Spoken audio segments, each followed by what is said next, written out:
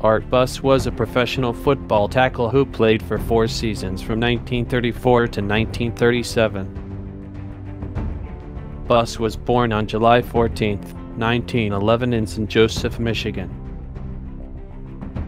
In college, Buss played for the Michigan State Spartans in East Lansing, Michigan.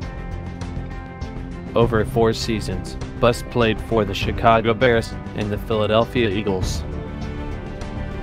He passed away on March 23, 1998 in Chelsea, Michigan.